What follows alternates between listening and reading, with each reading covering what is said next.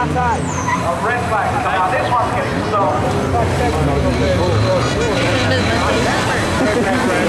getting stolen.